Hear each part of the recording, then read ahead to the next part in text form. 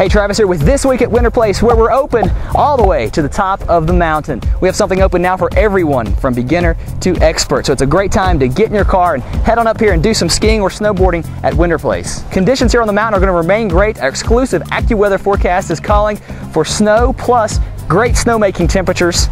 Our legendary snowmaking system to crank out snow. For the latest conditions, visit our website and check out our snow report. Also, like us on Facebook and follow us on Twitter. We update those every day with pictures, videos, special deals, giveaways, and more. Now here's a look at conditions this week at Winterplace.